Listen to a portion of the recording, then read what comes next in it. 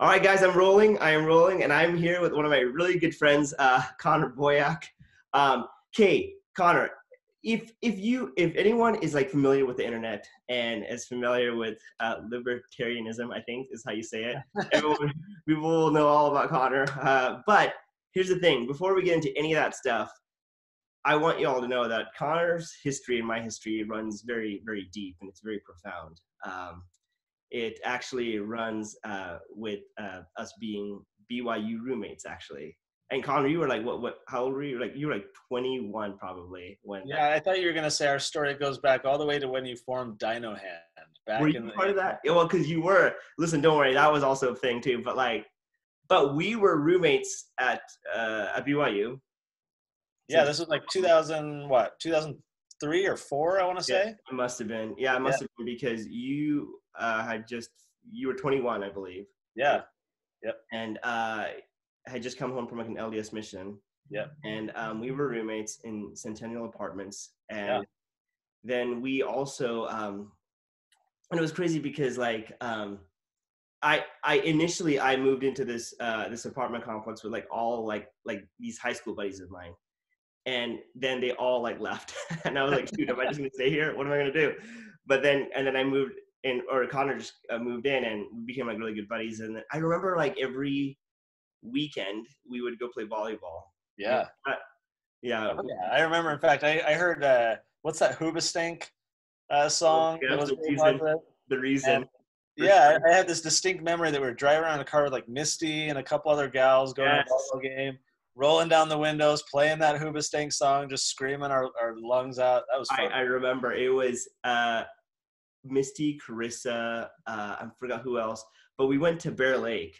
Oh yeah, yeah. We Bear Lake. We rented a motorboat. It was Memorial Day weekend, and um, we we were like, everyone's gonna jump in the lake uh, because it's it's like it's it was such a it was such a stupid idea. If, if you guys have never been to Bear Lake, it's it's a lake basically from a glacier, right? Yeah. And the water's so cold. It's it's just walking. It hurts your feet when you're in that water. Um, and in May it's not warm really at all. No. And uh, and the thing was, I think I, I kind of half jokingly said, okay, everyone's got to jump in. And then all of a sudden, you literally jumped in, like you literally went in, and you were the first one to go in, and everyone's like, like eyes wide, like holy crap, like he actually did it, you know. And so then I did it, and um, I, I think we all did like a couple times, but it was so funny how quickly I was able to swim once I jumped in that water, and how I got back on that the boat the, the follies of our youth, right? The things that now are like, no, I think I'd pass on that. I, yeah. I don't think yeah, I think I think I'm good. I think I'm good. But um, but yes, we were listening to Hoobastank, uh, there and back probably. We were like so into that song.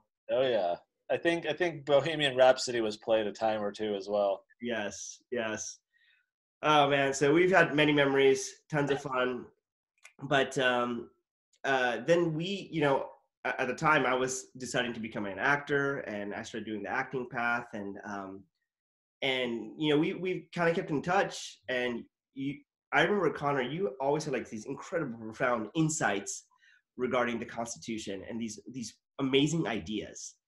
And I was like man I wish I could think like that but I just never did. And um, anyway long story short you have created now the the Libertas Institute. Is that correct? Is that am I saying it correctly? Yeah, yeah. And um, and if you guys have seen things online of what what's Connor been doing, um, he's created all kinds of articles and books and publishing, and uh, created this whole movement really, and has uh, yeah has brought some, a lot of really cool principles to light.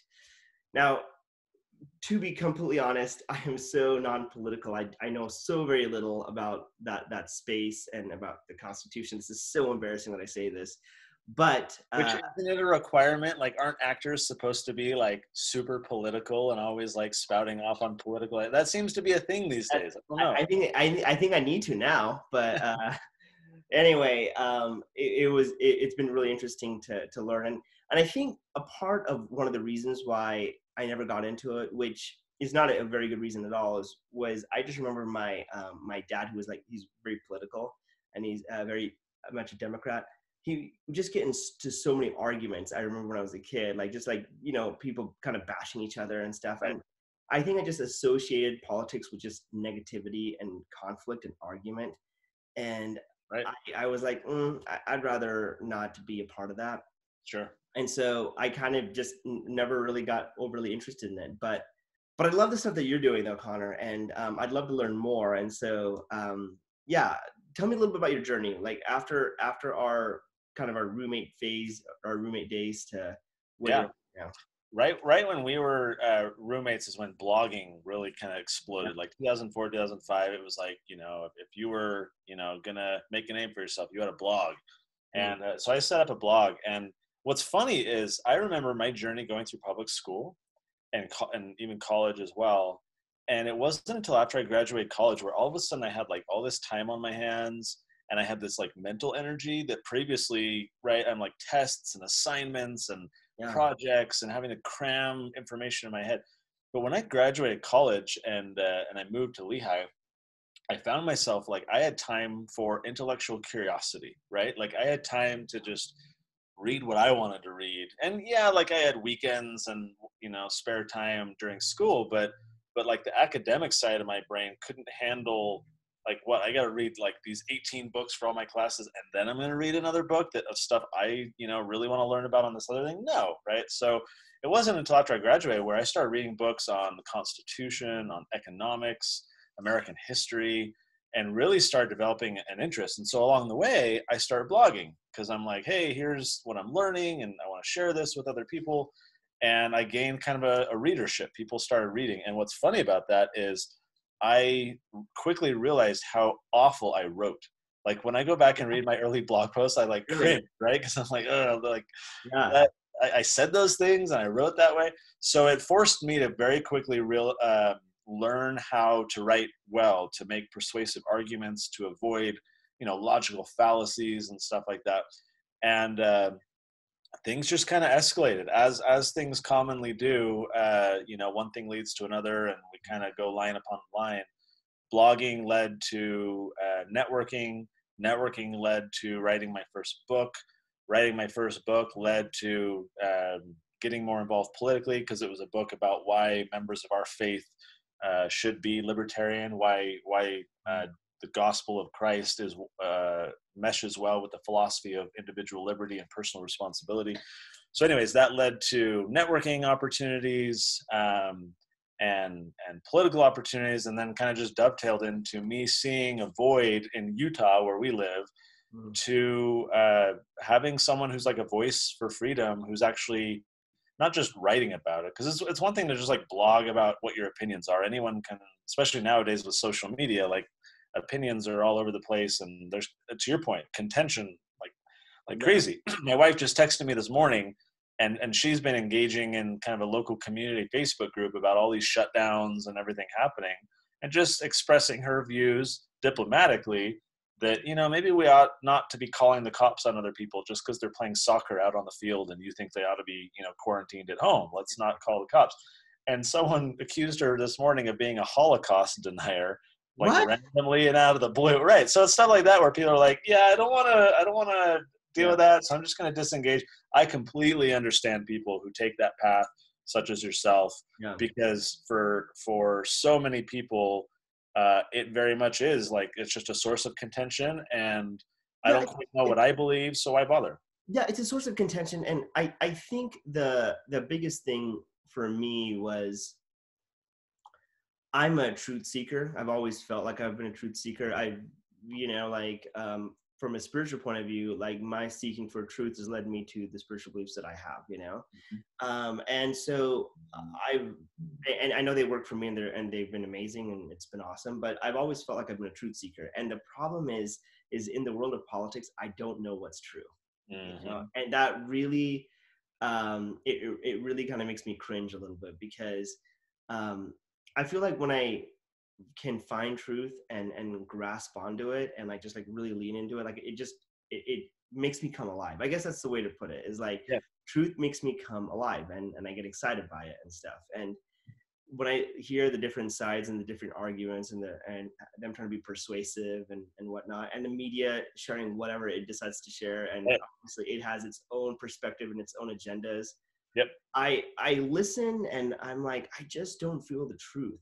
And it kind of like made me to this point where I'm like, mm, I kind of want to like, not like I want to run away or be ignorant, but it's more of a I just want to observe, if that makes sense. I just want to observe what's being said, but not necessarily take a side because I don't know where to even. And, and that's what I think is tough. Is oftentimes it's presented as sides, right? You're with us or you're against us. It's left and right. It's us versus them, and, and that I think not only is it intentional, it's also destructive. It's also inaccurate because, like you, I, I consider myself a truth seeker, and I believe that in so-called politics there are fundamental principles. Those are the truths. Um, you know, the Declaration of Independence, uh, we hold these truths to be uh, self evident, right? Life, liberty, property rights, pursuit of happiness, stuff like that. So it, it's one thing to say, you know, did uh, uh Saddam Hussein have weapons of mass destruction? Yes or no? Or was the coronavirus manufactured in a Chinese lab because they want to destroy America? Yes, like who knows, right? We lack access to information.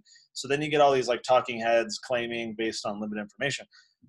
That, that to me is like a, like the superficial level up here of just you know based on misinformation misinformation and like your mind deciding to like kind of fill in the gaps when it doesn't know what it is. Right. And and you and i are like we lack the the military intelligence to know what's what or we don't know what happened in congress on this day. So how do we make a, a an informed opinion about something?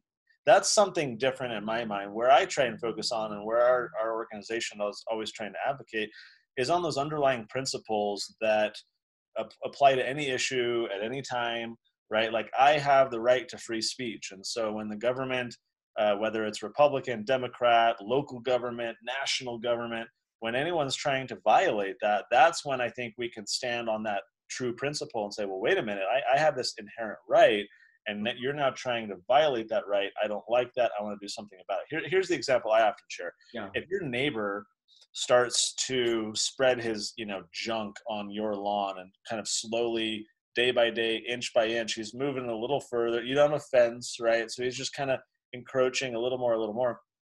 If you don't know where that property boundary is, you will not know how to stop his advance, right? You don't know when to tell him, well, wait a minute, you crossed the line. And yeah. so that's the challenge that I see from um, from basically is like a societal perspective, uh, where if we collectively don't know what our rights are, and if we don't know when they're when the line is being crossed, when they're being violated, we're never going to be able to defend them. And so, from my vantage point, looking over the years, we've lost collectively a lot of freedoms. There's been a lot more regulation, a yeah. lot more growth of government. And it's that encroachment where someone like me who kind of feels like I know where those rights are, I know where those boundaries are, you're stepping over the line. But everyone else is just like, oh, you're good, you know, spread that junk over there, it's fine. Um, I still got enough here on my lawn, I'm good. But they don't realize that, you know, it's like the camel's nose in the tent, right? Every little inch and inch and inch and it moves forward. So that's something that I feel very passionate about is making sure yeah. that um, you know we we even publish like these children's books to try and do this is to try and teach these principles that apply whether you're in America or you're in Ecuador or you know Mongolia or whatever because I, I feel like as humans we have these innate God-given rights those are the true principles uh, I, am with you all the contention and the bickering back and forth and the tribalism in, politics yeah. and the contention it's really just something that I think we can all just kind of discard. But I, I, think it is important for all of us to at least know where those boundaries are and make sure that we're kind of uh, defensive of them. Yeah, well, you know, it's interesting to me because um, I guess in, in different terms, I've, I've said this before, but like I've noticed uh, in circumstances like when I'm making films or when I'm doing certain shows and stuff, something feels off. I'm like, oh my gosh, what what what, what is happening? What why? And it takes me a couple of days before I realize, oh, um, I don't have power in me. you know what I mean? Like I feel like I've given my power away and something else is ruling over me. And I see this in the acting business all the time because honestly, like in LA, you can go and you're auditioning and you're doing all these different things, but you really are kind of a puppet to, to somebody else's um, game plan, if you will. Sure. And you either fit that game plan or you don't fit that game plan right? You no matter how well you do or whatever. And so it, i always felt this this thing of like oh I've got to perform well and now the casting director who's over me can kind of like decide and now it's a producer right? and it's like i felt like my voice was being taken away. Sure Um, but I realized, okay, well, I have developed skills as an actor and I have booked some really cool shows. So why don't I just create my own show? Why don't I create my own show and I can keep my own voice? And I think that's one of the reasons why I like creating my own show because it's it's my voice. I can feel it. Yeah. But whenever I am a part of any organization or anything where it's like, give your power away to us to rule over you, I I there's something in me that just kind of rubbed me the wrong way. I'm just like, nope, this does not feel right. This does not feel good, you know.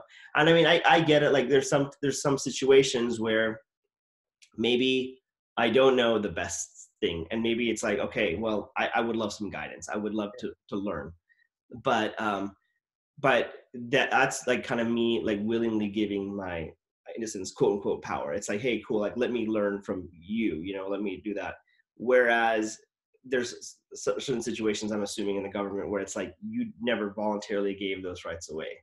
You know, I think it's it's it's so interesting what you're saying because once you achieve independence, yeah. it's so hard to be dependent again, right? Like sure. I, I, remember I remember when I went to BYU and I'm off living on my own. I have this distinct memory.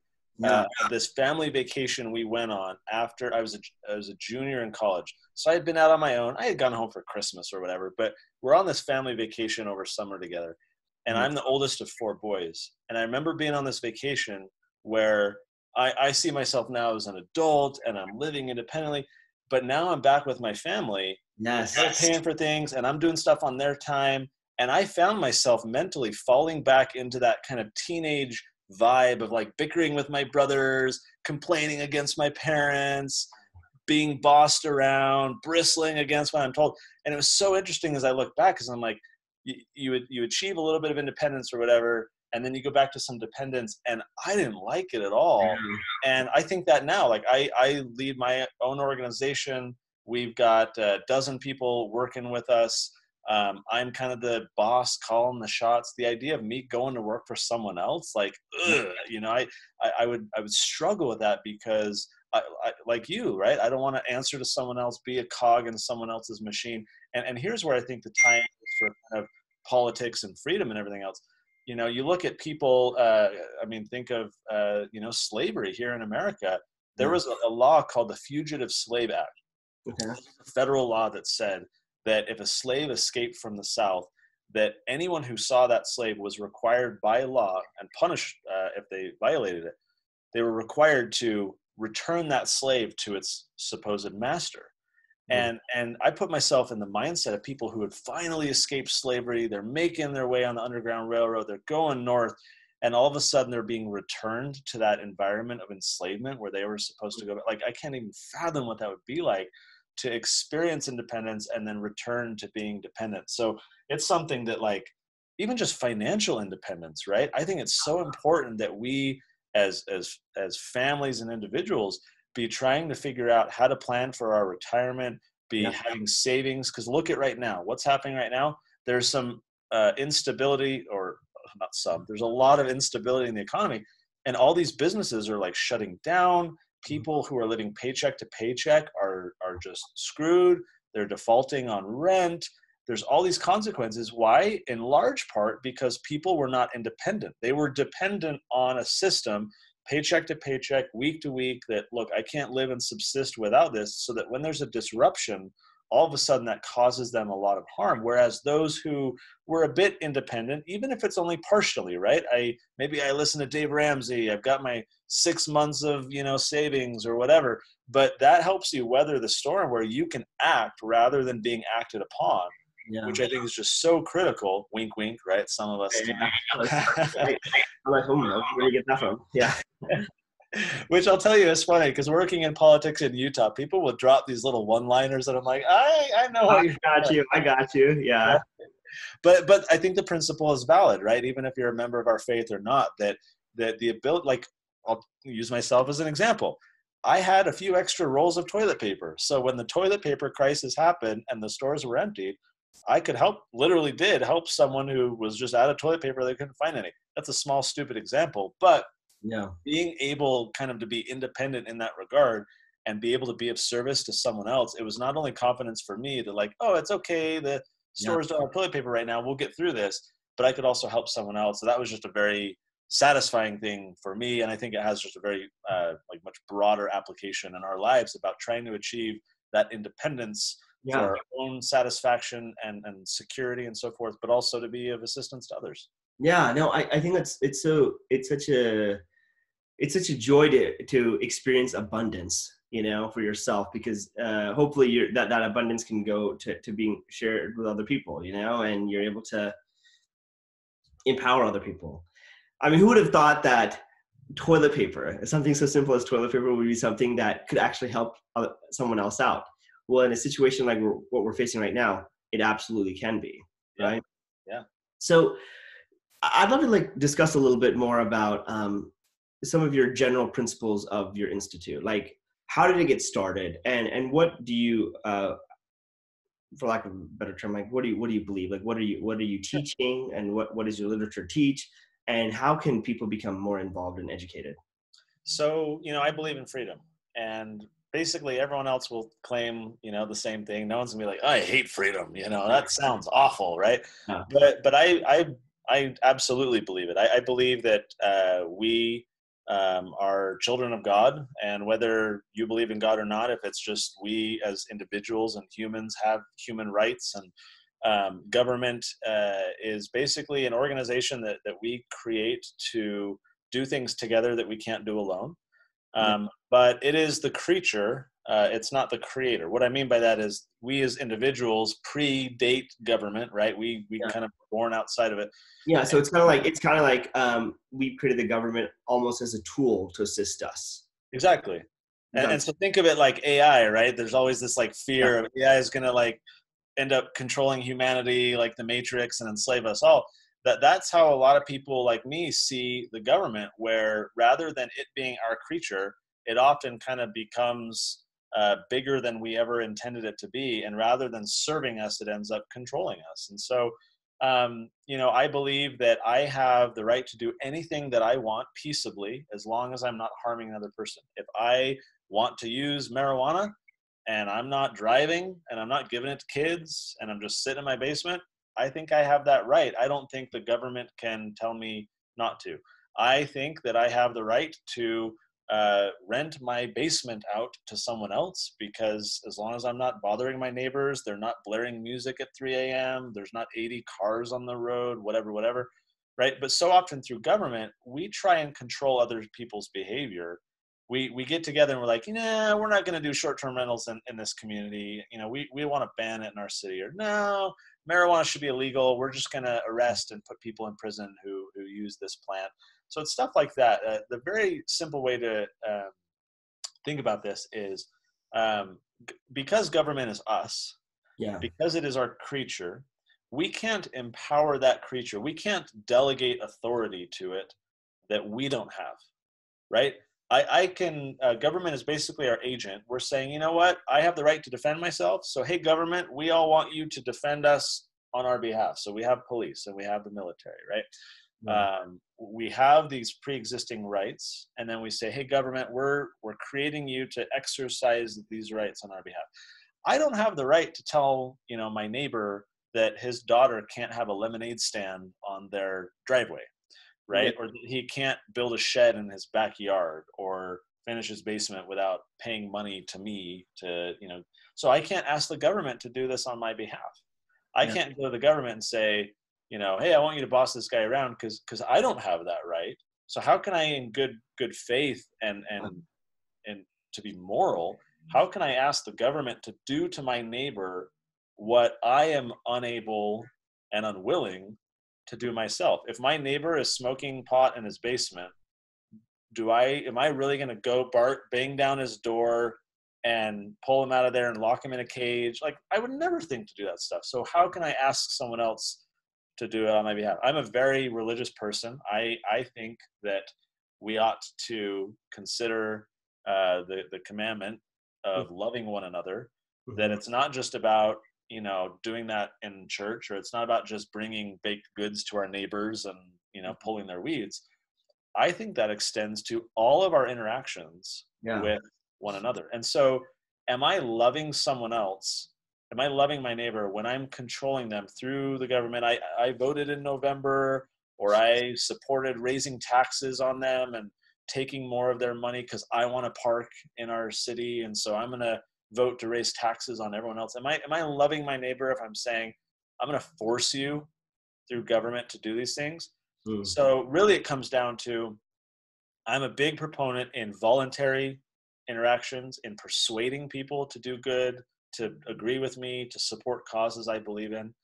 I'm a strong opponent to forcing other people to do yeah. what I think they should yeah. or what I want them to do for me.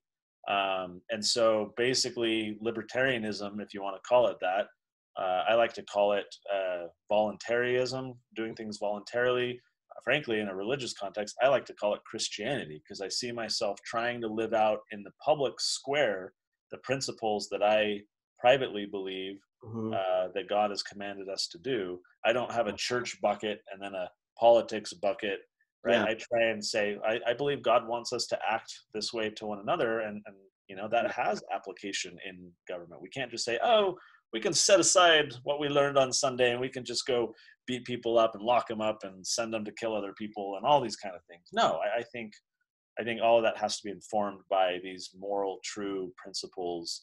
Hmm. um, that's so my first book was latter day liberty where i tried to say like okay what does our faith actually say as it pertains to government and politics uh, but beyond that, like these are true principles that apply to people of any faith or no faith. And so our our organization, it's you know non-partisan, it's certainly non-religious, but it's an attempt to say how can we change the laws and educate the public in a way that leads us more in that direction.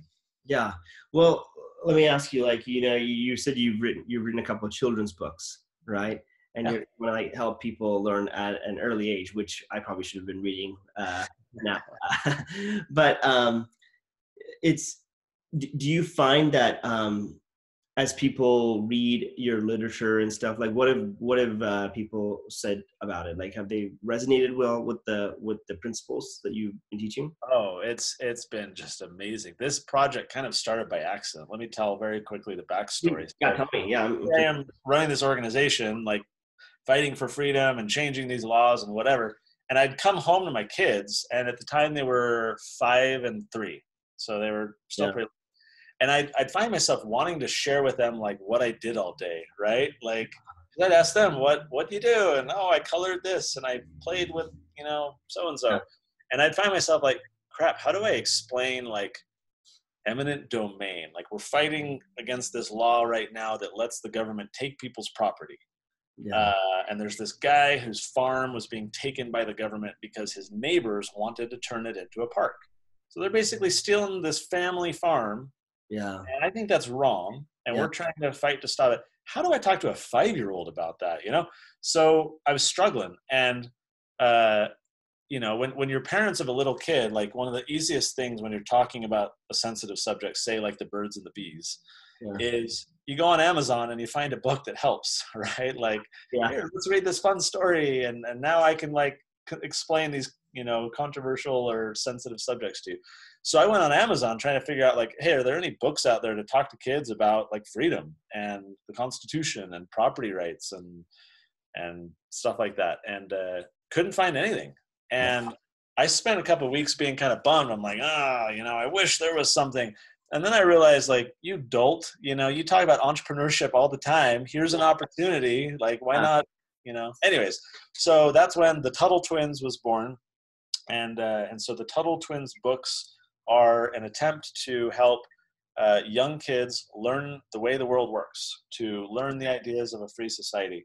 And so we've got now, gosh, we've got 11 books in the series. They're all, they're each about 60 pages Okay. I don't have any next to me here. Um, oh, here's one right here. Hang on. So these are all. Uh, so they're all fully illustrated. Awesome. About 60 pages. Yeah. And um, and they got a bit of text in there, and they just talk cool. about all these ideas. So this one's all about education, how we how we learn um, the best way, and and and so forth. So yeah, they're super fun, and um, you know we've done this now for five years. We've sold over half a million copies. Wow, man, that's uh, amazing. Yeah. It's been incredible. I mean, right now there's so many people at home, like homeschooling, you know, because their kids are trapped at home and and so sales have been actually going up lately because there's so many people just like i want we need but more books to read and i want my kids to learn these ideas and the hard part is like schools don't teach any of this stuff right?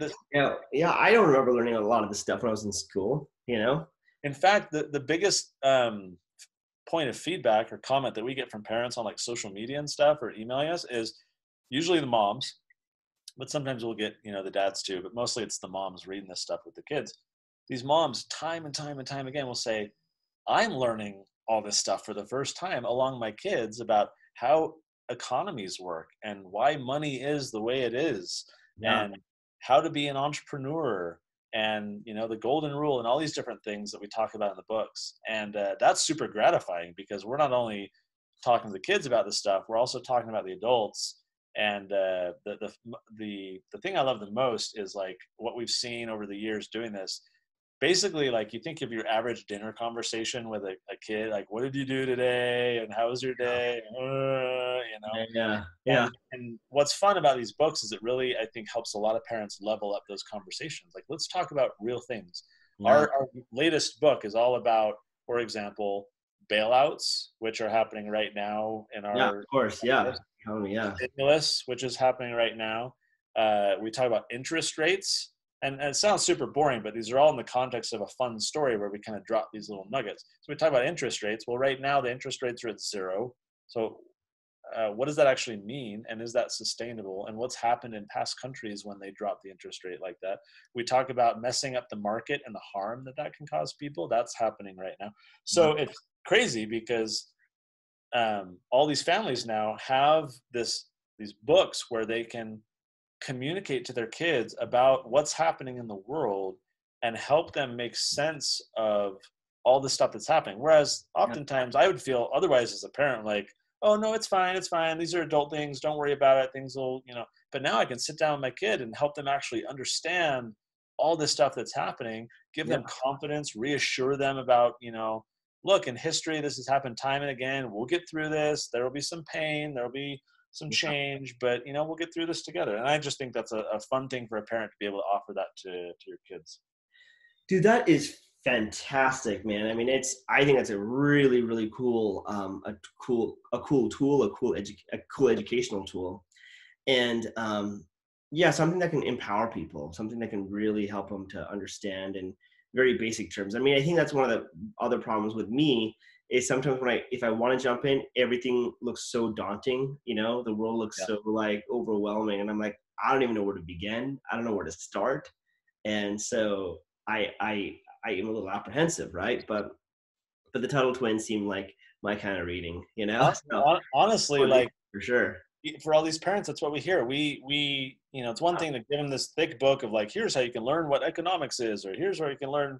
Like, no parent is gonna. Few parents are gonna want to pick up this like dry book that, right? And so, hey, parent, here's a short, fun story that you can read with your kids. It's just a very low barrier to entry for even the adults who are just like, I might be intimidated by all you know the original works and and yeah. the, you know books, but now I can read a fun story with my kids and we can learn about it together. So it's just That's it's awesome. a ton of fun. And I've got this whole like policy side of what we do and changing all these laws and stuff. And then this totally different yeah project that yeah it just keeps things interesting and and are you I, the, are you the author? Like do you write I'm them? author? Yeah, I write all the books. Wow. And so, um, you know, I just like it because I feel like we're serving so many people. Back to the toilet paper example, right? I just love being able to to benefit uh, people and have them, you know, be actually positively benefited in their lives in some way. And so it's yeah. created such a good outlet to, we're not just out there changing laws and spouting off our ideas. We're actually helping these families have these meaningful conversations, help parents teach their kids, help people have more confidence in the world to understand why things are happening the way they do. So it's just, it's honestly a lot of fun. That's awesome, man. Well, I'm, I'm stoked for you. Like this, that's, that, that's amazing. You know, I had like this thought that came to my mind. Um, you know, you talked about when you're in school, when the kids were in school, you never learned these type of things. Yeah. I, no, I certainly didn't. But from like a weird, like an interesting perspective, you were saying like we don't want to give the creature power to rule over us, right? right. we're the creator, that's the creature, right? And yep. and it, it was meant to be a tool that we can use to like help better our lives, but like the moment that it has more power than us, then we kind of succumb and we kind of fall and, and all those things. Well, I, I think from in even like certain perspective of like just life, I have seen how um like think about just the human mind, like what a beautiful tool it is and how the, this tool can be used to do some amazing, awesome things. But I've also seen how if you kind of let your mind take over and you you let you let the mind fill with its own ideas and its own stories, it sometimes controls us. I know that sounds kind of weird, but it's like I, I've seen so many people, uh, myself included, that get stuck in these false narratives in their minds, and that that narrative starts like speaking for them, and they start seeing life through that narrative, whatever that narrative is, right? And so I think, uh, in in a weird way, like trying to gain that power back to yourself and trying to see things clearly is always the way to go for me anyway and um, i love like that's what your whole thing is about because i even though i've been probably very um, what's the word apprehensive a little bit nervous about like understanding the world of politics maybe because of all these negative associations uh, negative associations i've had with it yeah. i'm actually very interested in learning about um, what you've been doing and, and about the tuttle twins and all that stuff so where do you go from here? Like, what is the what's the mission? What's the whole hope? Uh, what do you want to do? That's a great question. So, um, I mean, the short version of all of it is, you know, we're we're a state-based organization, yeah.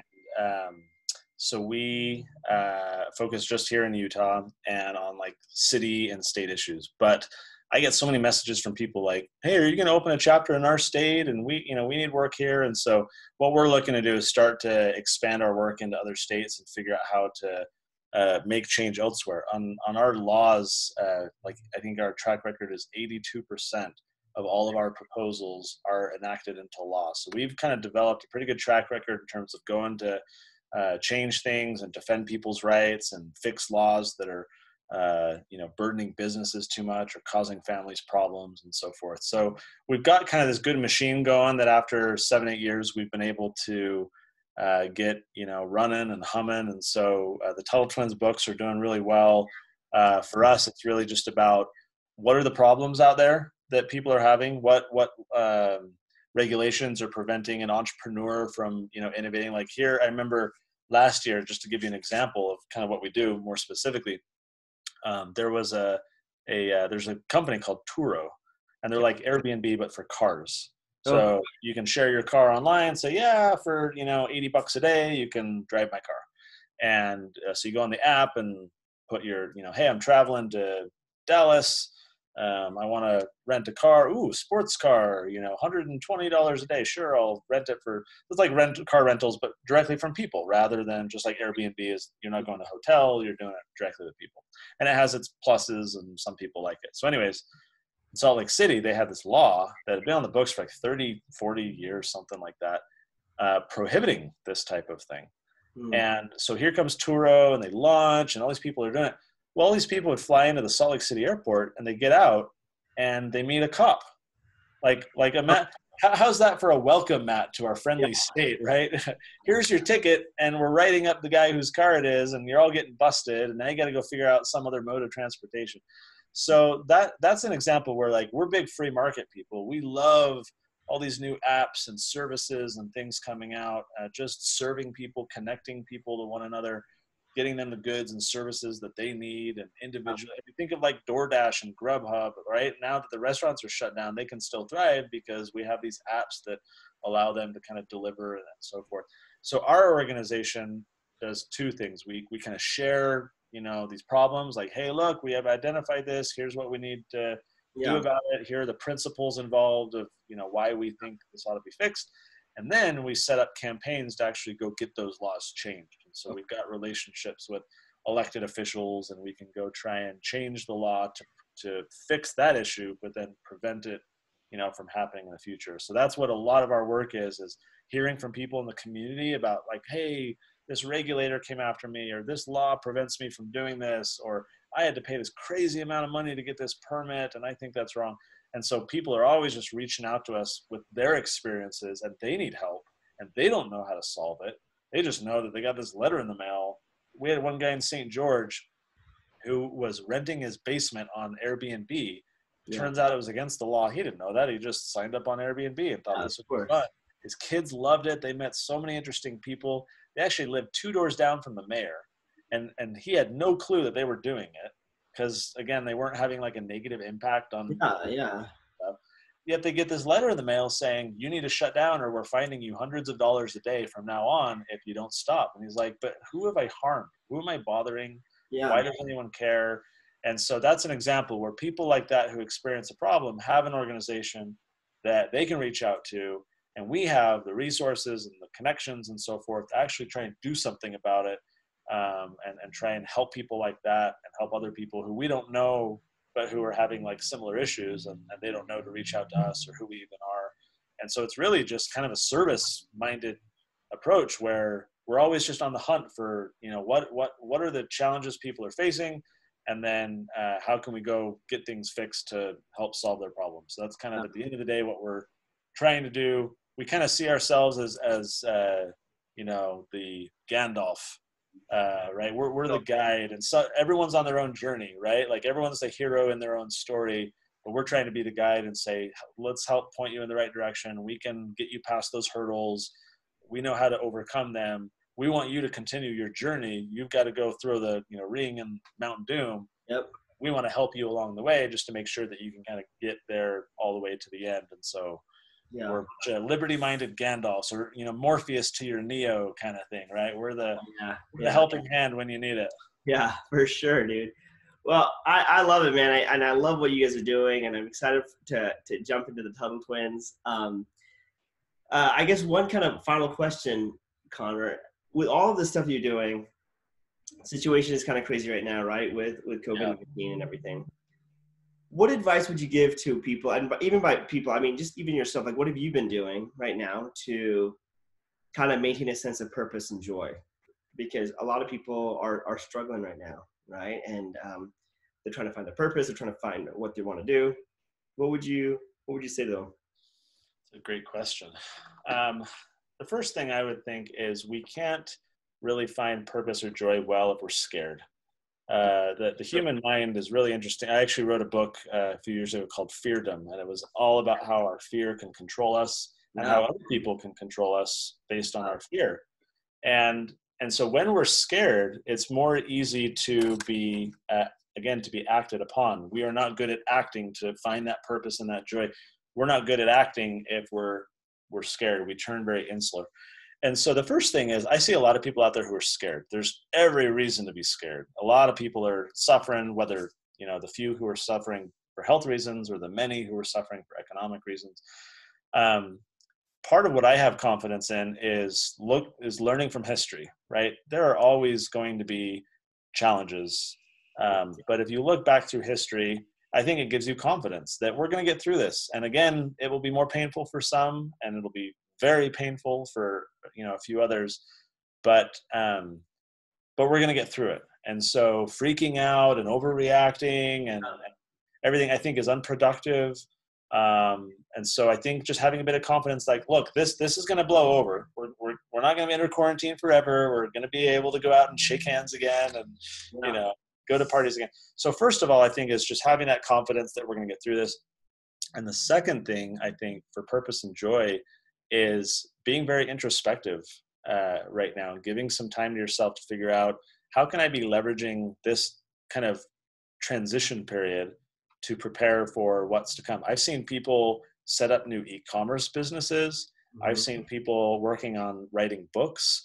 I've seen people developing like comedy sketches and shows and stuff like that saying, you know, I'm going to come out swinging. And when, when you know, I've seen I've seen all kinds of people like using this to say, all right, when we're kind of through this phase, I want to be this better. Even family stuff, right? Like, hey, we're doing these mini staycations now, and we're being very purposeful about creating family memories so that we can look back on this period of time not with you know disgust and depression or whatever but as like man we were able to use that to level up together as a family and find more joy together. I think there's a silver lining, you know, in, in all the clouds that are there. And a lot of this, I think, as you would agree, is our attitude, and that's what we can control. And uh, if we let ourselves be acted upon, it's very easy to just join everyone else and be negative and upset and fearful and everything else. But if we're intentional about making sure we have a good attitude, I think we can actually be very strategic about uh, coming out of the other side of this, leveraging opportunities, serving other people, uh, being happier and more fulfilled.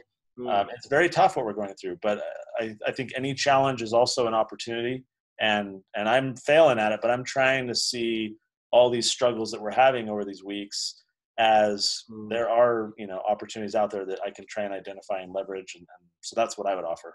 No, that's that's beautiful, man. I mean, here's the deal one of the biggest things I feel like I've gotten out of this conversation is the idea uh, to act rather than being acted upon, right? And um, and I feel like I have. I, I feel like I've, um, you know, you can't do everything, but you can pick one or two things that you're like, this is what I want to focus on. This is what I want to do, and, and yeah. just jump in and, and, go for it. But it's been interesting. I, I've so I started this little web series for fun called "Going the Social Distance," you know, and it was just just talking to people and hearing about their journey and, and, and learning from them. And it's been so beneficial. I've learned a lot from it. But what's been very cool is the the positive effect it's had on other people as well. Um, and I've been really amazed at like how many people have like reached back to me like, "Hey, keep going. This is amazing." Yeah. Here's the deal. I have no end game in mind. I have other than spreading joy, other than spreading light, some knowledge. Uh, I have no specific like, oh, I have to achieve this but I don't care. I think that's the beautiful thing about it is like, I, I feel like if you can find something for yourself and you're like, I can do that and I can act and do that right now and kind of go for it. I think that right there gives you your power back, you know? And, um, and when, once you get that power back, joy follows immediately. But when we give our power away into fear and to all of those things, then, um, then yeah, we'll just be kind of caught up in a storm and we won't know how to get out of it. So I think that's exactly right. When I'm able to share that extra toilet paper I had, I felt joy in that yeah. moment. Yeah, I can help, right? When I serve these families and they tell me the amazing conversation that they have with their five year old, I feel joy. Those are very meaningful, positive things. And so I, am a big believer, I guess, yeah, here's our kind of hashtag act or be acted upon uh, theme for yeah. the the, the conversation here, right? But but yeah, when we can act, when we can be proactive and serve other people, whether that's serving them through your business, you're making them, you know, meals and they're paying you and it's just a restaurant, but you're really serving your customers. It's yeah. called customer service for a reason. Yeah. Um, when when we do those acts of service and help one another, whether fin- like commercially or spiritually or socially, um, I think that's where joy lies, and we all uh, profit and build wealth and happiness as a result. And so I'm I'm just a big believer. And and again, I, I think for all the struggles we're having and all the lingering economic impact there's going to be, um, you look back through history, even during wars where people are being killed. Obviously, there are huge problems for those affected, but for the wider world, uh, there's also a lot of opportunities that come out that I think we need to be trying to identify, and not just for you know to make some money or to you know momentary satisfaction, but uh, to solve problems, to say, I, I, can do something about that. I want to do something about that. I've been equipped and prepared to go fix that. I want to lend my talents and my time to go do that. There's going to be plenty of opportunities for all the problems we're having to go serve people. And, uh, I, you know, again, whether professionally or, or personally, um, but I yeah. think the more we adopt that mindset, the happier we're going to be. Man, I wish there was a, a job uh, for for just spreading joy. I guess I guess there is. I guess just creating content that creates joy because I feel like that's my calling in life. You know, awesome. uh, sometimes I have excessive amounts, amounts of joy, and I'm like, oh my gosh, what do I do with this? What do I do with this? You know, so you're not bottling it up and selling it with a custom link and coupon code at the end of this video or anything. I really should be. I really should be. If you could figure something out, that would be amazing. awesome, man. Well, Connor, I, I appreciate your time. I know you're a very busy guy, so thanks for. Uh, it, you know, thanks for jumping on and chatting with me. And of course, like, you know, it's always fun to reconnect with a former roommate. Sure. You know, yeah, it's been super fun to be on. And I've loved a lot of these videos you're doing. So I'll join the, the crowd and say, keep it up. This has been a awesome. lot of fun to, to participate in, but then also watch the other videos too. Yeah, absolutely. Awesome. Well, thanks again, Connor. I really appreciate you taking the time. Okay. Have a good one. All right. Take care. Bye bye.